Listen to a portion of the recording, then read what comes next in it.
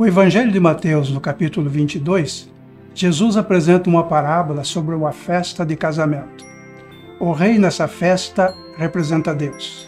O filho do rei é Jesus. E os convidados são todos os salvos que aceitaram a ele como Salvador. Veja o que a palavra diz.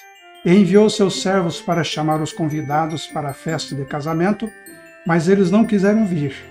Então disse aos servos: Na verdade, o banquete de casamento está preparado, mas os convidados não eram dignos.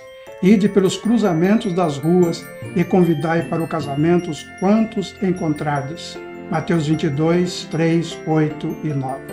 Deus está nos convidando para uma grande celebração do céu. Aceitar o convite de Deus é a certeza de ter uma vida eterna com o Senhor. Deus abençoe a todos.